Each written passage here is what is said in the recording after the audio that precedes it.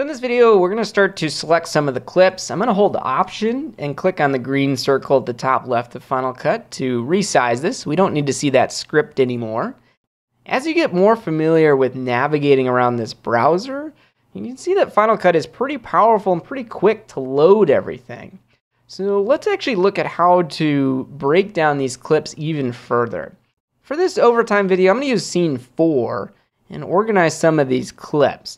And this is something I'm to I'm applying all this to this specific short film, but you can apply it to any of the clips that you see. So, to avoid getting to a point where things are so overwhelming, because keywords actually is pretty advanced and can get kind of overwhelming. I want to show you a more basic way of organizing, which is simply by marking the clips you want to keep and use as green or favorite clips, and we'll delete or reject the clips we know we're not going to use. And what's really cool about this is the keywords we used previously were applied to an entire clip. But you can actually mark specific parts of a clip and reject some of it versus others. So let's see this actually in action. The first thing, just to review, you can click on a clip to select that entire clip. And you'll see at the bottom, we have one of the 23 clips listed, and it's 2 minutes, 16 seconds, and 15 frames. So that's a long clip. And if I scrub through it, there's actually a couple takes in this clip. If I click on the next one, same thing, we can see that's a minute and 45 seconds. So this is an instance where zooming in can help. So click your clip appearance and filtering menu, and if you're set to all, we actually want to drag this over to the right. And I find for this uh, specific scene that we're working on, and actually most of the time when I'm trying to mark as favorite or rejected, I like to usually hover around 10 or 5 seconds. And I'll scroll up to the top. We'll start up at the beginning here. So I'm going to skip the first clip because this is just a sound effect. And we're going to look at this next clip here. And I'm going to scrub across it. I can already see it's not something that I need. If I play this clip, you'll see what happens here.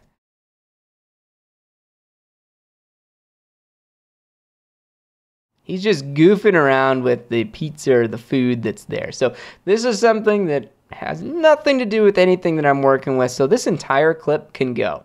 So I'm going to click on the clip and hit the delete key to reject that clip. Now don't be afraid. All of these markings that we're doing, like in previous videos, it's non-destructive. I actually have this set to hide rejected clips.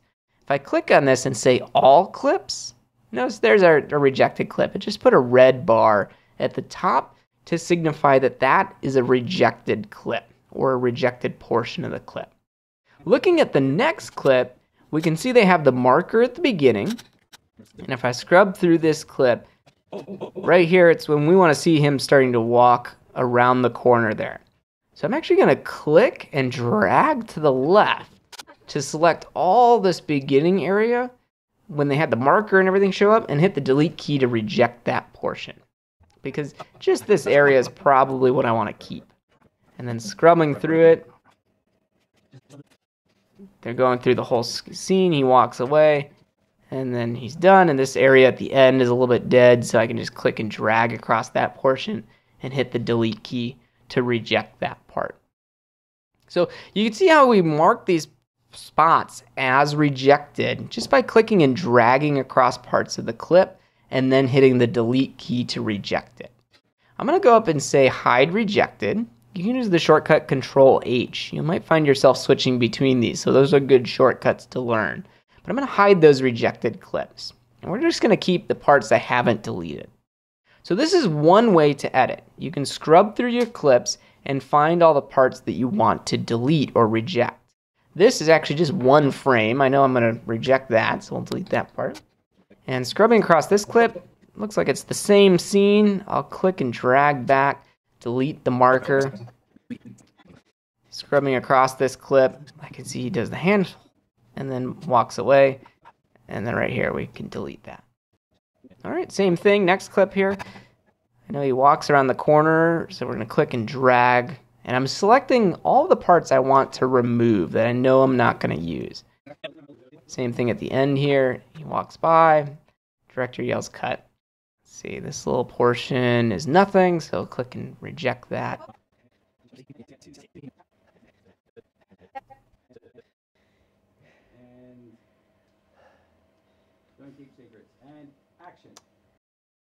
I can hear the director yell action right about there, so I can select this part, hit delete to reject it. So I'm not going to go through all of this here with you. I think you understand how you can reject a portion by selecting it and then hitting the delete key. We can also do the reverse where we select a part and mark it as a favorite. So if I know I want him walking up here, I can click and drag across this clip down to the end and then hit F to mark it as a favorite. And you'll notice with a favorite marking, we get a little green line across the top. Same thing, I can click and drag across this one. Right after he leaves, I'll hit F to mark it as a favorite. And you could certainly look through your different takes and figure out which ones you really like, or you can go through and delete the ones you don't like. So you, kind of want to choose what works best for you. For me personally, I find I'm marking clips as favorite, and I don't find myself deleting the rejected parts too much. I don't, I don't find myself doing that as much because when you mark something as a favorite, you actually have an option here under your sorting menu to view just the favorite parts. And then you can weed out all the stuff that's not been marked as favorite this way. But in this case, we'll go back to hide rejected and we can go to the next part. So just to review, you can select parts and hit delete to reject the portion, or you could select a part and hit F to mark it as a favorite. But what if you accidentally mark something the wrong way? I'm going to click this entire clip and just hit the delete key to reject it. Well, I didn't mean to reject that entire clip. I thought maybe a, a smaller portion was selected. So I can actually go up here to show just my rejected clips. And I'll see all of those little rejected portions. And here's that entire scene that I rejected on accident. So with that entire scene selected, I can actually hit the F key if I wanted to mark it as a favorite, or I can hit the U key to unmark that selection. All of these shortcuts, by the way, you can go up to the mark menu and they're under here as well. Favorite, reject, or unmark. But in this case, I'm just gonna hit the U key to unmark that section. I'm gonna go back to hide rejected. And now we get that, that clip is back. So if you mark something incorrectly, you can always unmark it. Same thing, if I select a portion here and hit the F key, I mark it as a favorite. If I didn't mean to do that, I can just click and drag across that part and hit U to unmark it. And notice that green selection is removed. So that's how you can unmark something if you marked it incorrectly. The next part I want to show is we've selected just a portion of this clip. You can click and drag the edges of a selected box there to change the length of that selection. You can definitely do that. Nothing wrong with doing that. You can also use your keyboard and a shortcut Option X to clear the selection. So if you don't like this box here, just use Option X and it unmarks that selected portion. So you click and drag to select part, Option X will remove that box. And, and with these boxes, you can also select multiple parts of a clip if you hold the command key down and click and drag, you'll notice now we have two selections on this one clip. You can go down command drag, command drag, command drag, and now I've made five separate selections from that one clip. And if I wanted to, I could hit F to mark all of those portions as favorite. I could use U to unmark them, or the delete key to remove or reject those portions. So you can see how this can get really quick depending on, on what types of markings you like to make to make a, a bunch of selections really quick and then select them. But then same thing, option X will clear a selection. Uh, so if you make a selection here, you didn't want this one anymore, just use that option X keyboard shortcut to unmark that selection. And you can always go up to the mark menu as well. And there's options in here to clear the selected ranges, which is what we did. Um, you can also go in and, and set your in and out points, essentially your range start and out points using those keys as well. So uh, in this case, I'm going to command click. I have both of these selected, and I'm going to use Option X to unmark or unselect those portions. All of this has been done using the mouse. But your keyboard is extremely powerful. We looked at using J, K, and L to navigate around the clip.